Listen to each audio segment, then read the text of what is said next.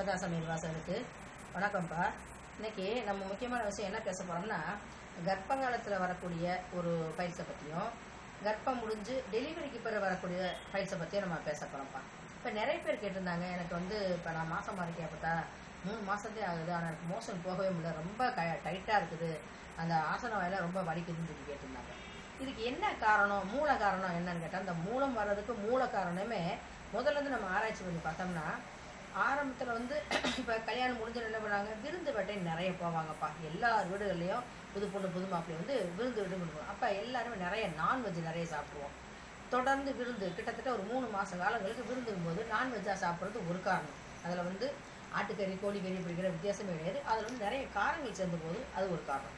ரெண்டாவது என்ன கேட்டோம்னா உடல் வந்து அதாவது ஆண் பெண் இருப்பாளருக்கு வந்து உடல் ஒத்துக்கொள்ளாத சூழ்நிலையில் சூட்டின் பேரில் வந்து அதாவது தாம்பத்திய உறவின் போது சூட்டின் பேரில் உடம்புக்கு உடம்பு ஒத்துக்காத சூட்டின் பேர்லையும் இந்த மூளை வந்து பெண்களை வந்து தாக்கும் கட்டாயம். ரெண்டுங்களா? மூணாவது என்னன்னு கேட்டோம்னா இவங்க மூணு மாதம் ஆன பிறகு என்ன செய்வாங்க தெரியுமா? நிறைய காரங்கள் சாப்பிட ஆரம்பிச்சிட்டாங்க வாய்க்கு உனக்கே நம்ம சாப்பிட்றோம் அப்படிங்கிற காரங்கள் நிறைய சாப்பிடுவாங்க. அப்போ காரம் சாப்பிடும்போது என்ன செய்வாங்க? உடல் கூறு தனியாக சேர்த்துக்கொள்ளக்கூடிய உணவுகளில் காரம் தனியாக இப்போ ரெண்டும் சேரும்போது வந்து நம்மளுக்கு வந்து மோசனை வந்து டைட் ஆக்கிடும். அப்போ மோஷன் டைட்டாக அப்படிங்கும்போது போக முடியாமல் என்ன செய்வோம்? நம்ம முக்கி போகிற மாதிரி வந்து போகும். இப்போ முக்கிய போகும்போது என்ன செய்யும் ஆசன வாயில் வந்து டைட்டான இடம் வந்து விரியும் போது அந்த ஆசன வாய் வந்து விரிஞ்சு அங்கங்கே அங்கங்கே பிளவு வந்து ரத்த கசிவு ஏற்படுது. இந்த ரத்த கசிவு ஏற்பட்டு சிலருக்கு என்ன செய்வாங்க கொப்பளை மாதிரி வந்துருப்பா அந்த ஆசன வாய் இடத்துல வந்து கொப்பளை மாதிரி வந்து என்ன செய்வாங்க உட்காரவே முடியாது சிலருக்கு. உட்காந்து அழுத்தம். அந்த மாதிரி ஒரு வே ஒரு வேதனை இருக்கும். இந்த மாதிரி கற்ப காலத்தில் அந்த மாதிரி வரும். அப்போ என்ன செய்யும் போதுன்னா இந்த இந்த கட்டி மாதிரி இருப்பீங்களா ஆசன வாய்த்து வரத்தில் வெடிப்பு அல்லது கொப்பளங்கள் வரும்போது நம்ம உரம் மரத்தில் சொல்லியிருப்பேன். அஹ் கடுக்காய்னு ஒரு கடை சொல்லியிருப்பேன்ப்பா. அந்த கடுக்காயை வந்து கடை கடையில் கிடையாது எல்லா கடைகளும் இப்போ டிபார்ட்மெண்ட் ஸ்டோரில் எல்லாமே கிடைக்குது. அந்த கடுக்காயை வாங்கி என்ன செய்யணும்? சுடாமல் கொள்ளாமல் தேங்காய் எண்ணெயை ஊற்றி ஒரு கல்லில் வச்சு நல்லா உரைக்கணும். உரைச்சோம்னா சரி அது நல்லா நல்லா பேஸ்ட் மாதிரி ஒரு களிம்பு வரும் அதை வந்து ஆசன வாயில் போடலாம். அது போட்டோம்னா அந்த மருந்து வந்து கரெக்டான கேட்கும். சீக்கிரமே ஆறி போகும். இதுக்கு முன்னாடி என்னென்னு சொன்னால் இந்த மாதிரி வந்துருச்சு அப்படின்னா முதல் காரத்தை நல்லா தனியாகவே விட்டுறணும். காரமே சாப்பிடக்கூடாது.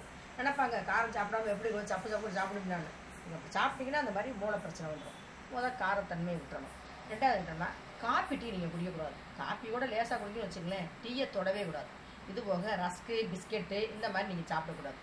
அது போக என்ன கேட்டோம்னாப்பா இரவு இரவு உணவு பழக்கங்களில் போது நம்ம என்ன செய்யணும்னா சாப்பிட்றத வந்து ஒரு ஏழு ஏழு நம்ம சாப்பிட்றோம் எட்டு மணி ஒம்பது மணிக்கு நம்ம சாப்பிட்டு படுக்கும்போது அந்த வ- சாப்பாடை வந்து நமக்கு செமிக்காமல் செய்யாமல் உள்ளே போய் தங்கிக்கிட்டு மோ அதை செமிக்கிறதுக்கே டைம் எடுத்துக்கிட்டு நம்மளுக்கு வந்து மோசன் பிரச்சனை உண்டாக்கி விட்டுரும். அதனால் சாப்பாடை வந்து ஏழு டு எட்டுக்குள்ளே நீங்கள் கட்டாயம் சாப்பிட்டு முடிச்சிடணும். இரவு படுக்கும்போது என்ன செய்யணும்ப்பா? ஒரு நாட்டு பழம் நல்லா சாப்பிடணும். இன்னும் இதுக்கு மேலே போனோம்னா காலையிலே எழுந்திரிச்சு நம்மளுக்கு ஃப்ரீயாக மோஷன் போகணும்னா நைட்டில் கொஞ்சமாக அதாவது ரொம்ப மோஷன் டைட்டாக இருக்குது அப்படிங்கிற யோசிக்கிறவங்க ஒரு ஒரு கரண்டி விளக்கெண்ணா ஒரு நாள் விட்டு ஒரு நாள் சாப்பிடலாம். ஒன்றுமே செய்யாது பயப்பட வேண்டிய அவசியமே இல்லை.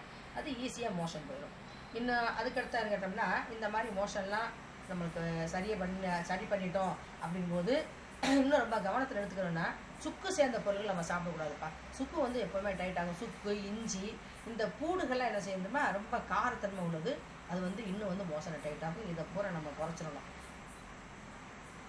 இது இப்போ நான் சொன்னது எல்லாமே நார்மலாக இருக்கவங்களும் சரி மாசமாக இருக்கவங்களும் சரி இந்த மாதிரி இந்த உணவு பழக்கங்கள்லாம் நம்ம குறைச்சிட்டோம்னா முற்றிலும் குறைச்சிட்டோம்னா சரி நம்மளுக்கு வந்து மோஷன் பிரச்சனை வராது ஃபைல்ஸ் பிரச்சனை வராது. இப்போ அடுத்து என்ன போகணும்னா டெலிவரிக்கு பின்னாடி எனக்கு ரொம்ப சிக்கலாக இருக்குது. பார்த்தா டெலிவரி ஆகி பாஞ்சு நாள் ஆச்சு எனக்கு மோஷனே போக மாட்டேங்குது ரொம்ப டைட்டாக இருக்குது ரொம்ப கஷ்டமாக இருக்குது அப்படிங்கிறவங்களுக்கு என்ன சொல்ல இந்த டெலிவரிக்கு பிறகு இந்த ஏன் மூலக்கடுப்பு வருதுன்னா ஆப் நம்ம டெலிவரி போது என்ன செய்வோம்? டாக்டர் சொல்லுவாங்க. நீங்கள் நல்லா புஷ் பண்ணுங்கள் புஷ் பண்ணால் தான் குழந்தை வெளியே வரும். நல்லா புஷ் பண்ணுங்க அப்படிங்கும்போது நம்ம புஷ் பண்ண புஷ் பண்ண புஷ் பண்ண நம்ம குடல் வந்து வந்து உள்ள அப்படியே சுருங்கி ரசியும் செய்யும் ஆசன வாயை அடைச்சிடும் அதுக்கு தானே வந்து எத்தில ஒரு மாதிரி ஆல்கஹால் மாதிரி மருந்து வேற கொடுப்பாங்க நம்மளுக்கு. அந்த மருந்துகள்லாம் என்ன செஞ்சு உடம்புக்குள்ள போய் சாரும்போது அந்த மோஷன் வந்து டைட் ஆகி விட்டுரும். அந்த ஆசனாவை வந்து சுருக்கி விட்டுரும். அப்போ வந்து நம்மளுக்கு மோஷன் போது ரொம்ப கஷ்டமாக இருக்கும். முக்கிய நம்ம குழந்தை வர்றதுனால நம்மளுக்கு மூலம் வந்துடும் அதாவது டெலிவரிக்கு பிறகு. அதை வந்து சரி பண்ணலாம் அப்படின்னு சொன்னோம்னா ஈஸியாக சரி பண்ணிடலாம்ப்பா மோஸ்ட்லி இது வந்து டெலிவரி ஆகிறவங்களுக்கு இப்போ நிறைய லேடிஸ்க்கு இந்த பிரச்சனை இருக்குது. அது என்ன சொல்லப்பா நம்ம வீட்டுக்கு வந்த அப்புறம் என்ன செய்யணுமா இல்லை அதாவது ஈஸியாக செமிக்கக்கூடிய முதல்ல உணவுகளை எடுத்துக்கணும். முதல் வீட்டுக்கு வந்து என்ன செய்யணுமா கிறிஸ்மஸ் பழம் நான் ஏற்கனவே நான் வீடியோ போட்டிருக்கேன்ப்பா. கிறிஸ்மஸ் பழத்தை ஊற வச்சு நம்ம சாப்பிடணும்னு சொல்லியிருக்கோம்.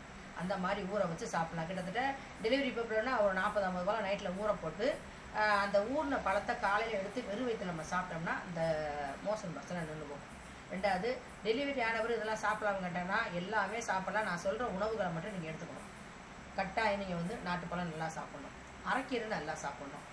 வகைகள் வந்து எல்லாமே அதாவது க- அகத்திக்கீரையை தவிர அரைக்கீரை சிறுகீரை முருங்கைக்கீரை எல்லாமே சாப்பிடலாம். இந்த கீரை வகைகள் சாப்பிட சாப்பிட நமக்கு வந்து பாலும் நல்லா கிடைக்கும். இந்த மோசன் பிரச்சனை சீர் கரெக்டாக இல்லாமல் போயிடும். சரிங்களா? இது போயிட்டோம்னா இந்த மோஷன் பிரச்சனை நீங்கள் தீர வரைக்கும் அதாவது இந்த மூளைக்கடுப்பு இல்லை போகிற வரைக்கும் இந்த பூண்டு கொஞ்ச நாளைக்கு விட்டுறணும். அதாவது ஒரு மாதம் வரைக்கும் கூட பூண்டை கூட விட்டுருங்க.